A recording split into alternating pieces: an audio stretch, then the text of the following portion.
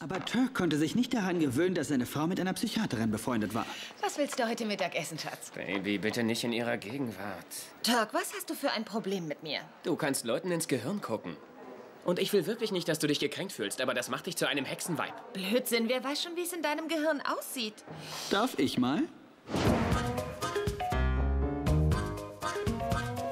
Hey, willkommen in Turks Gehirn. Du siehst rattenscharf aus. Was soll das? Du bist nicht lesbisch. Ich bin hier drin. Ja, bin ich auch. So ein Mist! Ähm, Molly, du bist vom Fach. Warum hören meine Tagträume immer auf, bevor es richtig heiß wird? Ich weiß nicht, vielleicht sollten wir das mal untersuchen. Jetzt gleich.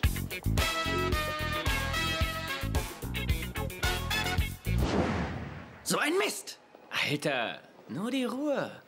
Und gönn dir heiße Schokoliebe.